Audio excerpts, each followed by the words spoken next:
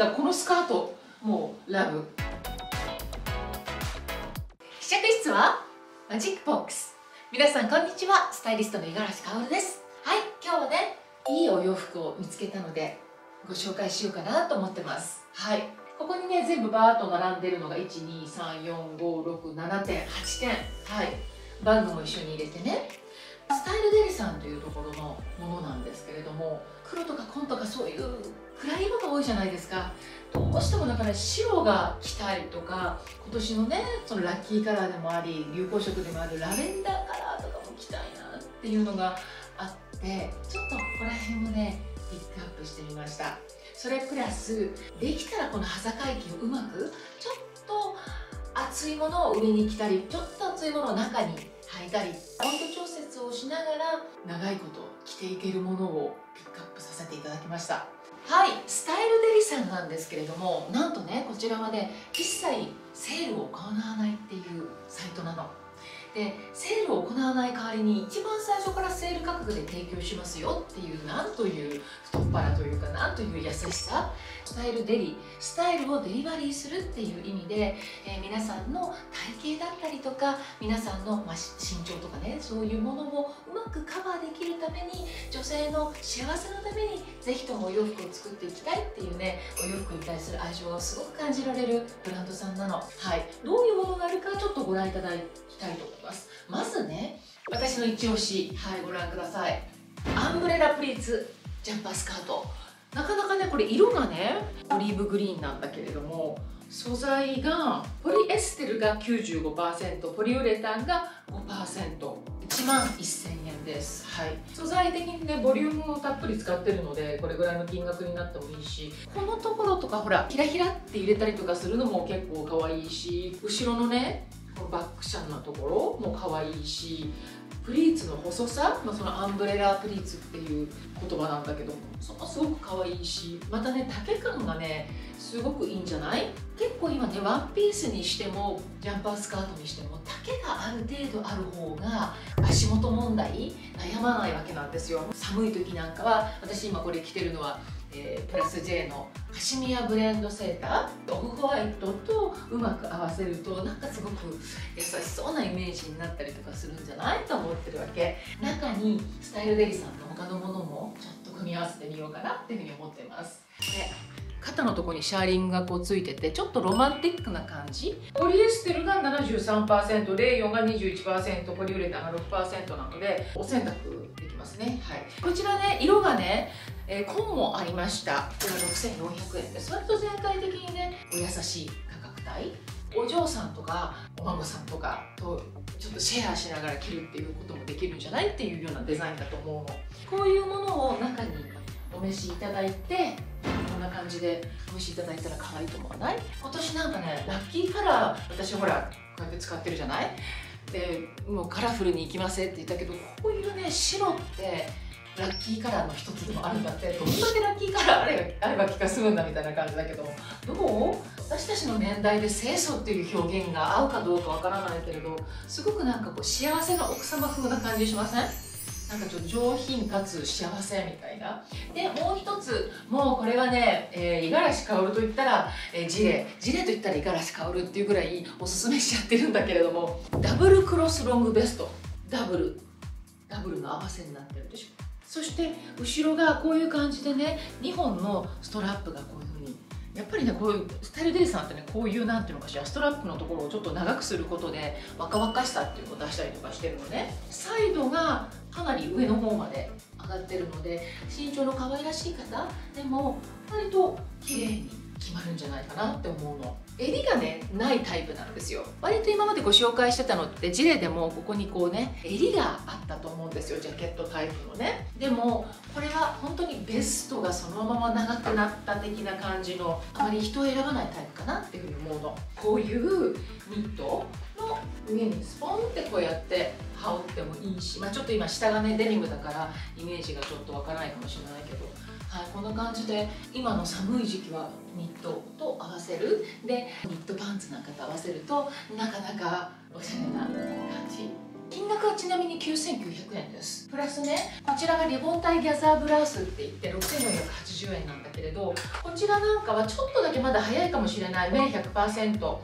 れなんかも中にちょっとって可愛いんじゃないかなと思ってこれちょっと選んでみたの。こんな感じ。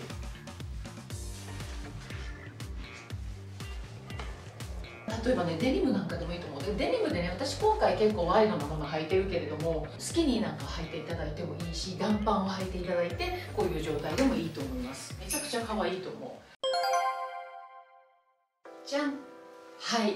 自由のパデット MA1 ブルゾンメンズです。と合わせてみました。はい。ツヤ感はねあるものとないもので合わせてましたけどほぼほぼ色が一緒でした。T シャツ代わりなのにこのふわっとした可愛らしい感じ男っぽいのからちょっと可愛らしいのが出てくるっていうのがいいじゃありませんか。最初ね私これ着た時にねうんなんかどうなんだろう。なんかこう詰まりすぎてるみたいな感じで思ってたんですよ。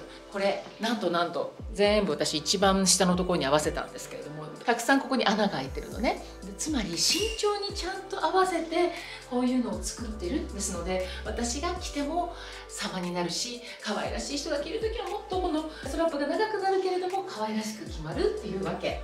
はい。で足元ご覧ください。じゃん。はい実はミラノで購入したユニクロ U のニットのレギンスを履いてるんです。グリーンモスグリーンの。そして足元はなんとワークマンのブーツでボア付きブーツでございます。はいこんな感じでも脱いだら私すごいんですじゃないですけど懐かしすぎる。脱いだら淑女なの。でも結構防寒なの。みたいなそういうおしゃれもいいんじゃないですか。じゃん。どう？袖コンシャスでしょ？袖コンシャスだって袖コンシャスでしょ？ちょっとねあのドロップしてるんですよこのブラウス。袖のラインが。すごく可愛いのこのブラウス。でブラウスの話になってしまいましたけれどもこのジレ？素敵でしょ？これもう本当にねオフィスコーデにもなるしそれからね中にセーターを着ればカジュアルにも着れるし T シャツを着るもよし。タンクトップにしてノースリーブ的に着てしまうもよし。スリーシーズン OK アイテム。これは本当に重宝すると思います、はい、後ろの感じは2本こうストラップがあるなかなかデザインされてるものです。もちろんねこれをキュッと引っ張ればウエストマークっていうのももちろんこういう感じにできますよね。ちなみに前を開けるとこうなる。少しだけカジュアルダウンするんだけどそれはそれでまたスタイルに見えるんじゃないかしら、はい、軽い。すごく軽い。めちゃくちゃ軽いです。これねワイドパンツなの。私身長171だってね一番長いタイプで M の02っていうやつを頼んだのかなこれ確か。ポリエステルが92%ポリウレタンが8%割とさらりとしてます。これはでもねまだね履くにはちょっと早いかもしれないのでね、これを合わせてこういう感じで。本当はねこの上にね同色のニットがあったので全身ワントーンで着たいなと思ったんだけどなんか売り切れだったんだって。なのでボトムスだけでも今年らしい。テストっていうものをねちょっと取り入れたいなと思ってなかなかこういう色ってミクロさんになかったりとかするのでいいんじゃないかな。こちらが胸ポケットしっとりニットプローバー長い、はい、サイドがね綺麗にシャツのようにこうカーブされた状態でさらっと着てもこのポケットの部分がカジュアル感っていうかねこれがあるのとないのと大違いなんだけどこういうなんかちょっとしたところっていうのがやっぱり味なんじゃない？で後ろがちょっとやっぱり長くなっててお尻も綺麗に隠れるしこういう色のパンツってあえて全部出さないで少し隠れ気味の方がもしかしたらおしゃれな印象っていうのを与えられるかなと思います。じゃん。はい。いかが？このラベンダーのパンツがなかなか素敵だと思いません？この落ち感といいこのね素材感？これ3万円ぐらいいってもいいんじゃないかなっていうような代物です。少しだけ私はこれね腰履きにして履いてます。でいきなりちょっと出てきましたけれどもこちらのシューズこれがねまたね可愛いんですよね。ギザギザのソール。これ欲しいって言ってたじゃないですか。T ストラップ。T T T ごめんなさい。古い。T ストラップ。ボリュームソールシューズ。はい8900円でした。私は LL を履いております。そしてねちょっとこちらにあるのがマーケットバッグっていうんだけどパイソン柄の。バッグ。なんと 2way なんだって。ほら中に小バッグが入っててはいかぶってる帽子はユニクロさんのオリジナルでございます。はいこんな感じで。いかが？このねセーターも本当にねしっとりってついてるだけあって本当にしっとりしてます。チクチクしない。割と長く着れそうな気配ですよ。このパンツも長く履けそう。今の時期だったらあったかい系？この上にロングコートを着てもいいし、はい、このままちょっとストールをバッとこう大判のストールを巻いて、えー、暖を取るっていうのもありですね。いかが？割とこうトーンが柔らかい中にピシッと締まる感じの印象じゃない？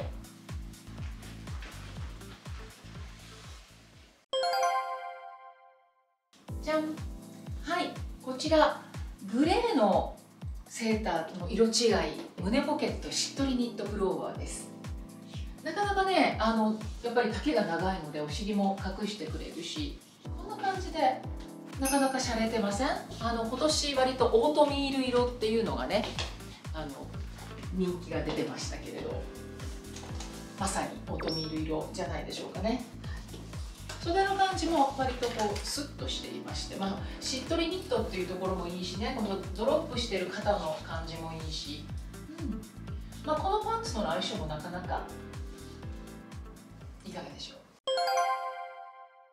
これなんかもちょっと選んでみました、はい、これはねポリエステル54%ナイロン20%アクリル20%ウール8%丈があんまり長すぎずちょっとこの辺りに表情があるとそれだけで奥行きができるから洋服に着られちゃうのよっていう方は表情があるセーターなんかをこうやって選んだりとかするといろんな着こなしに入ったりとかします。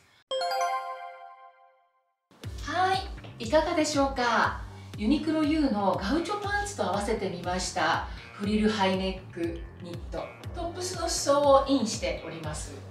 はい、この長さの関係上を、ね、このフリルの関係上ちょっと中に入れた方がすっきりするので、このような感じで中に入れてみました。上はねかなりロマンティック系なんだけれどもこのニットのガウチョパンツのねシャープさと合わせるとお互いにこうなんていいとこ取りをできるんじゃないかなと思っています、はい、ガウチョパンツは3990円です。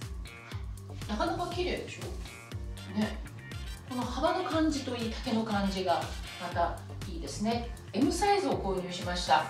あの L だとちょっとなんだろう全体的にズドンとした感じお尻の辺りのこの辺りもちょっと大きい感じがしましたので M にしました。丈はねあんまり変わらないかな。ちょっとだけウエストが少し下がる分だけ L の方が長い感じはしますけれど、まあ、これぐらいの方がねちょっとあの今の時期だったらブーツに合わせてショートブーツに合わせてっていう感じでいろいろコーデできるんじゃないかな。色は黒です。はい、はい、それでは春になってきた時にこういうのいいんじゃないかなっていうものをご紹介していきたいと思います。まず一押しなのがこのスカート。どう？ちらね針素材のバルーンスカートといってはい9900円なりなんです。なかなか可愛らしい価格だと思います。しかもねしっかりと長さもある。シャカシャカ素材でほら裾がねこういうバルーンになってるのこういうのってね様になりやすいんですよ。季節もそんなに飛ばないんだけれども特にそろそろ春先になってくるなっていう時にこういう綺麗な色着たいじゃないですか。そしてこのねスカートに合わせていくつかトップスを持ってきました。はい、こちらとこちらのトップス、はい、色違いと先ほどちょっとご覧いただいた白のトップスの色違いネイビーですね。はいこちらをいろいろと合わせてみたいと思います。はいそれでは。じゃん。はい。フリルラインハイネックニットとバルーンスカートを合わせてみました。いかがでしょう？はいこちらのセーターあじゃあスカートは、えー、綿が55%ナイロンが、えー、42%プリウレタンが3%です。これね1万1000円なんですよ。まあまあある程度のお値段はするじゃないですか。でもねこういうちょっとひねりのあるものってやっぱりね元トレ服なんですよ。意外とお高く見えるっていうところではね。で色はねこちら白もあってこの白はねどちらかというとオフホワイトというよりもピュアホワイト白ですよね。まあ俗に言う青み系の方はクール系の方はブルベ系の方はこちらの白をおすすめしたいと思います、まあ、もちろんこちらのねブルーも素敵だと思います。春先なんかにこういう合わせ方も素敵ですよね。3月あたりでも三寒四温でねちょっと寒いな肌寒いなっていうような時にこういうニットをすごく重宝するんじゃないかな。しかもこういうねフリルがあると Zoom なんかのリモート会議なんかもある場合こういうちょっとね華やかな印象っていうものも相手に伝えられるんじゃないかな。でねこちらもちょっと着てみたいと思います。こちらはどちらかというとちょっとオフホワイトが入ってるかな。これスカラップ刺繍っていうんだけれどもちょっとなんかこうシャネル風じゃない？白に黒っていう感じがまたいいんじゃない？このこのね手のところもちゃんと刺繍がされてるっていうのを一緒に合わせていきたいと思います。なんだってこのスカートねいいですわ。いいですわってまあなんか言葉知らないのかいみたいな感じですけど軽いんですよ。軽くてあったかいの。しかもこれぐらいのボリュームだとねいろいろ中に隠し込める感じがしません？はい。足元はちょっと黒く、え紺色系でまとめてみました。はい。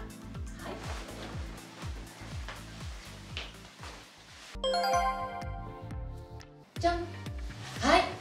珍しくベーシックな雰囲気って言われちゃったんですけれどなかなかレディーな感じじゃないですか？はい。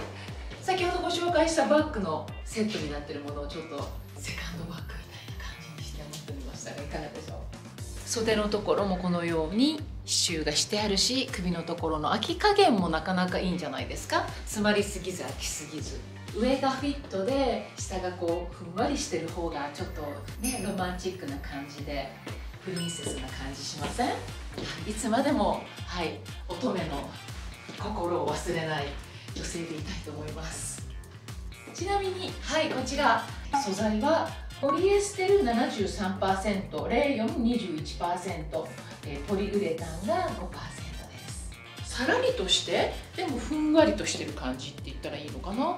河川河川してないですパッと見。コットンとちょっとウールが入ってるようなそんな雰囲気です。でもウールってほら割とチクチクするんだけどそういう感じもないし最近の素材は素晴らしいですね。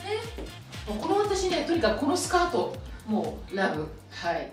はい。いかがでしたでしょうか？ねなかなかいいお洋服あると思いません？概要欄に URL 貼りますのでご覧になっていただけると嬉しいです。はい。それでは試着室はマジックボックス。スタイリストの五十嵐薫でした。最後までご覧いただきましてありがとうございました。どうぞチャンネル登録ポチッと。いいねボタンで高評価をいただけるとすっごく嬉しいです。それではまた次のコーディネートでお会いしましょう。